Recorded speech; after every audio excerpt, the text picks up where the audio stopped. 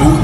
그냥 집어 넣어 눈치 보지 말고 더 맞춰 이지 말고 와 이겨